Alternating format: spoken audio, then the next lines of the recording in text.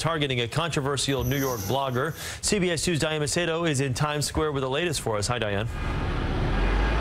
Chris, Twitter apparently suspended the account linked, or reportedly linked anyway, to ISIS fighter Abu Hussein al-Britani after a post revealed Pamela Geller, that blogger you referred to, her full address on the Upper East Side, as well as a hashtag saying, go forth. Now, this comes just days after Boston police charged a third man in a plot to kill Geller and kill police.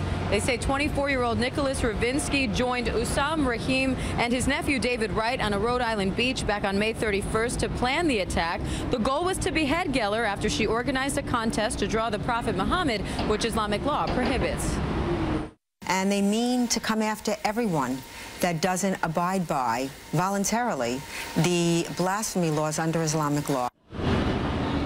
But two days later, Rahim told Wright in a recorded phone call he was going to go after the boys in blue instead and said he wished to meet Allah sooner and leave his worldly life. Less than two hours later, police and FBI agents confronted Rahim in a Boston parking lot. Investigators say they shot and killed him after he refused to drop a knife and moved toward officers.